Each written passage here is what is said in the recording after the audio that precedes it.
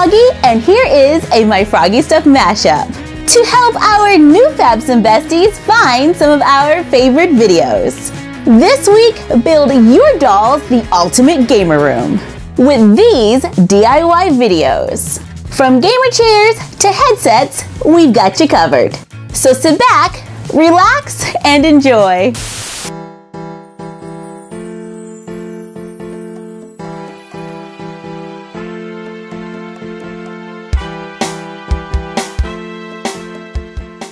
Is a quick craft. I am going to make a headset microphone using coated paper clips, buttons, a sponge roller, pom-poms, and glue.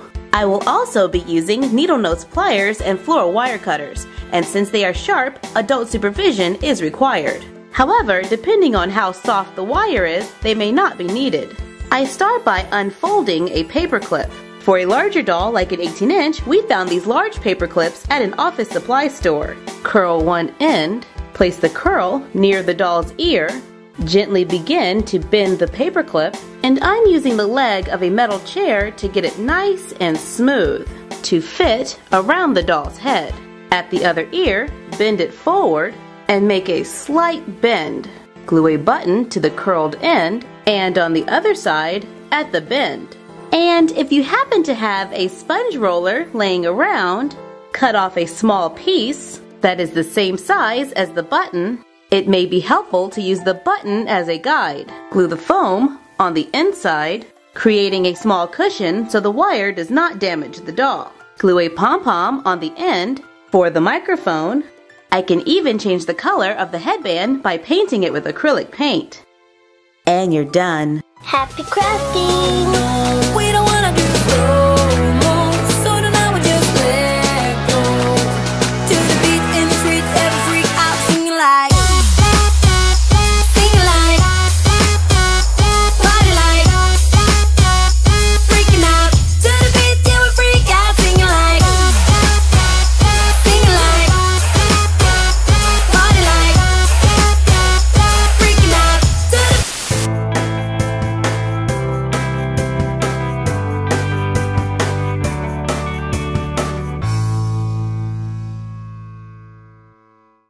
Going to make headphones for a doll using a plastic bottle, small stickers, buttons, a marker, rubber bands, and glue.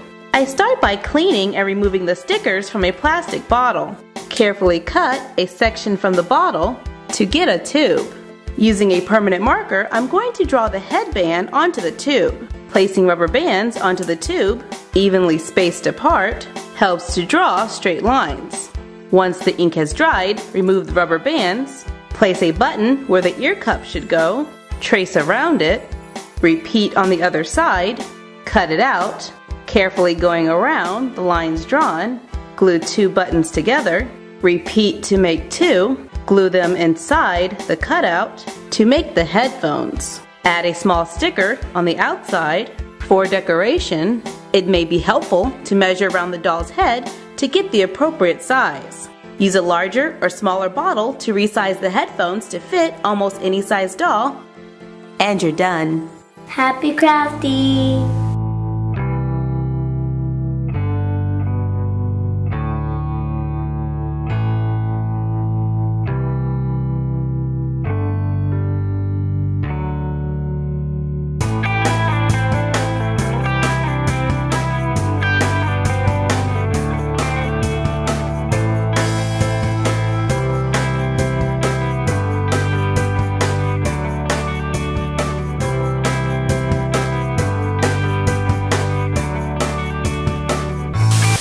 Going to make a doll room inspired by Pokemon using a large cereal box, cardboard, a t-shirt, pillow fluff, felt or fleece, paper, fabric, the inserts and box from a deck of Pokemon cards, beads, toothpicks, paint, clear plastic, and glue.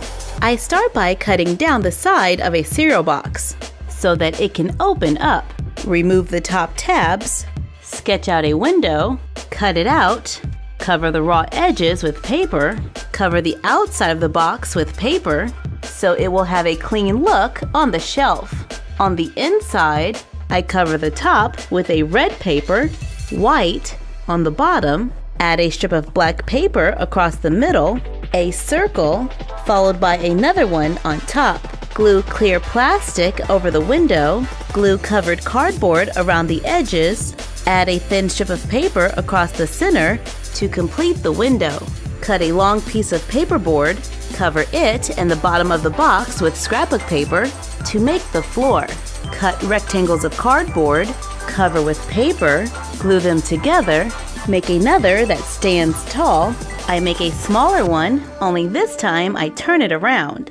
Add a shelf, a piece on front, a faux drawer, and a piece of metallic paper for a nightstand. Add faux drawers to the taller box to make a dresser. Cut two rectangles of fabric, add a layer of felt or fleece, sew a straight line around the edges leaving an opening so we can turn it inside out. Sew the opening closed to make a mattress. Make a smaller one and fill it with fluff to make a pillow. I cut a Pokemon t-shirt, place a coordinating fabric on top, then a soft felt or fleece, sew just as before, turning it inside out to make a plush Pokemon comforter. Use leftover fabric for another throw pillow. Beside the bed on the floor, I glue down strips of white paper to look like a field. Glue a toothpick into a bead, paint it, glue the cap from a glue stick on top, wrap it with a piece of paper, glue it to a button for more support to make a Pokeball lamp. I take an extra playmat from a deck of Pokemon cards, and on the back, we can cut out images from the instructions, like this miniature card, glue a small cutout on the back to make a doll-sized trading card. And I'm just gonna place them on the dresser and the nightstand.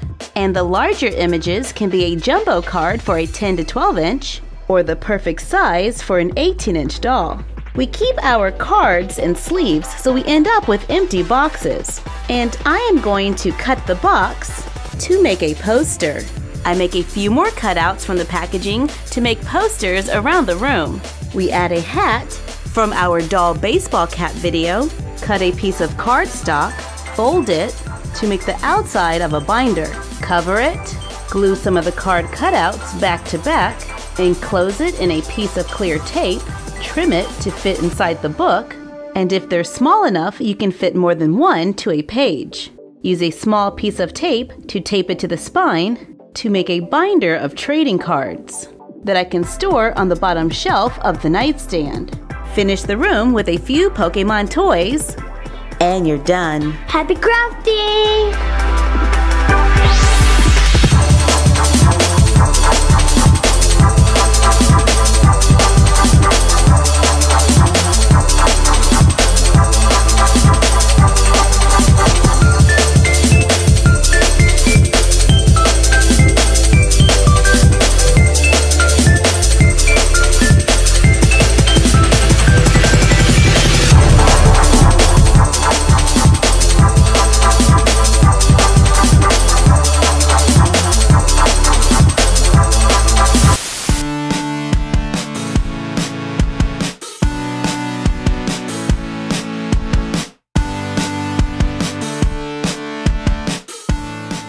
Going to make a Minecraft inspired room for a doll using printables from our blog, cardboard, paperboard, and glue.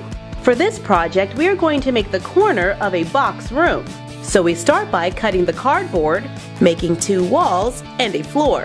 Now we can cover the box using printables from our blog. And if we would like to make them smaller, we can adjust the size in our printer settings. We trim the white border from around the printable, glue them to the walls, floor, and around the sides. We can decorate the room with our printable bookcase, cut out, and glue the door together, adding a handle and hinges. Cut cardboard into six rectangles. We glue five of them together to make a box. Use small strips of cardboard to brace the inside to give it strength. Using a few printables, begin covering around the sides of the box. The other rectangle of cardboard, cover it with one of our wood grain printables. Cut four small rectangles of cardboard, bend them in half, Cover with paper, glue the small pieces of cardboard to the corners, glue it to the rest of the box, finish it off with a thin strip of paper going around the edge to make a bed. Cut out the printable for the chest, trace it on paperboard, draw in a few tabs on the sides, cut it out, fold along the lines and tabs, use the tabs to glue the box together, cover with the printable. To make a chest, add pictures. We cut and stacked small pieces of cardboard, covered it with our printable, then glued it to the wall to make a torch. Add carpet, make double doors, or a home library. Cut out other items, glue them to paperboard to make accessories like the sword. And I can always adjust the size in the printer settings to fit different dolls. Follow similar instructions like we did when making the chest, and I find that it may come out a little neater if I cut the sections apart before gluing to make a costume for the dolls to wear. And you're done.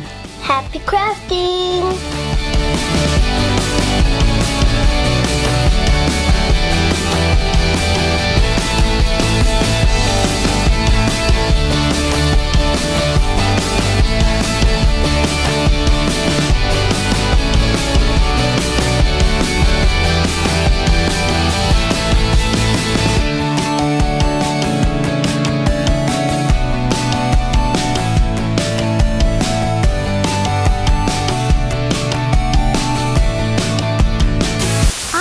To make a doll room inspired by the Barbie video game developer.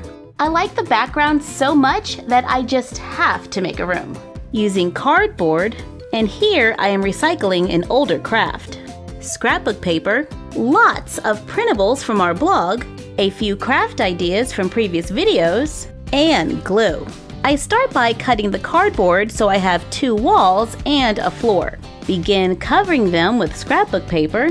I used a wood grain on the floor, brick on the outside, and on the inside, we've done a lot of white rooms lately, so I am going to make one pink wall and use printables from our blog on the other.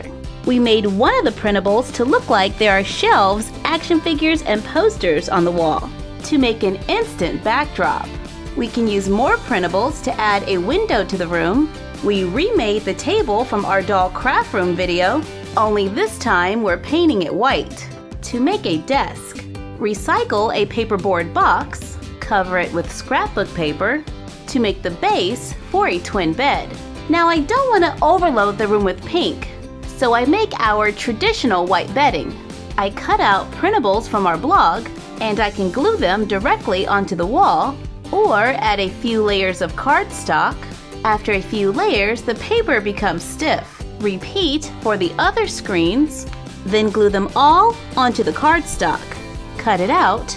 I made sure there was a little space in between the screens so I can bend the paper.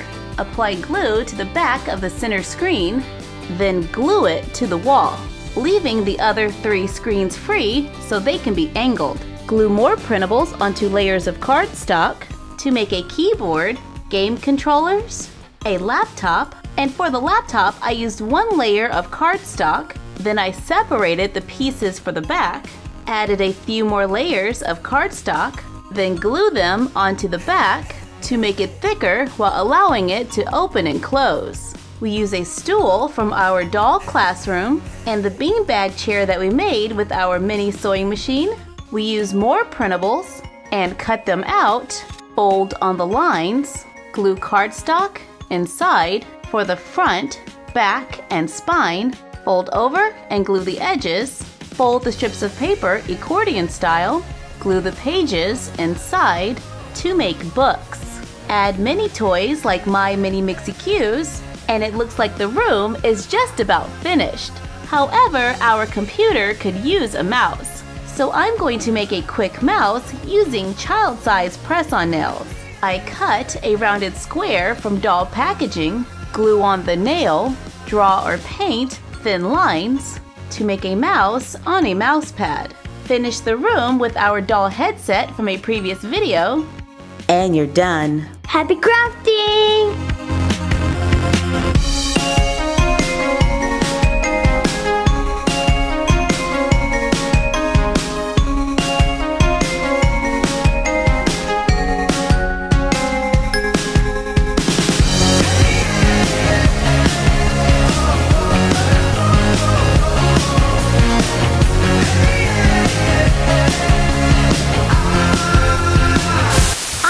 To make a chair for our video game bedroom. Using a paperboard box, paper and a pencil, acrylic paint, craft foam, an empty spool of thread, and glue. I start by finding a box that is wider than the doll's hips on the side. On the corner of a piece of paper, place the doll so I can make a mark for the seat and for the top of the chair. Make a mark at the shoulders and one near the hips. Remove the doll, sketch a curved line coming from the shoulder, going around the hip, then down past the leg. This is going to be the side pattern for the chair. Cut it out, open the paperboard box so it can lay flat.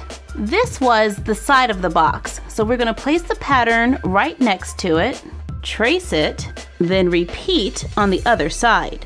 Sketch the top of the chair, which will be the headrest, cut on the line drawn, leaving the tabs on the bottom. Using the doll as a guide, draw two vents behind the neck cut it out, now it is starting to look like the chair. Position the sides at an angle, place it on a scrap of paperboard, trace around the bottom, cut it out to make the seat.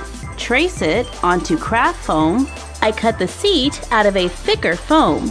Use more craft foam. I traced different parts of the chair, then altered them to make my design. You can turn me upside down, turn my heart inside out, but I Now that everything has been planned out, I take the paperboard cutout, cut and stack circles of paperboard, stack and glue the circles together, glue an empty spool of thread on top, paint them. Once dry, I am ready to glue in the foam. But first, to make sure that the sides bend, place the pattern on the foam using a mechanical pencil with no lead. I just trace the edge of the pattern, creating a line so it can bend. Glue the foam to the paperboard, bend, and glue in the bottom of the chair, then the cushion. Add a layer of foam going around the edge. Add the other details. Glue it to the spool. I glued mine so that it is tilting back just a little to complete the chair. And you're done. Happy crafting!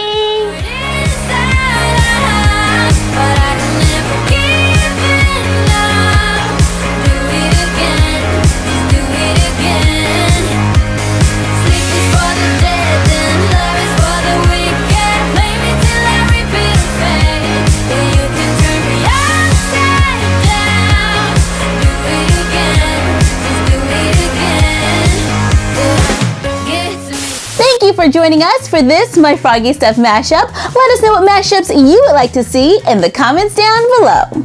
Like, comment, share, and subscribe. Follow us on Instagram at My Froggy Stuff and the Frog Vlog, and we will see you next time.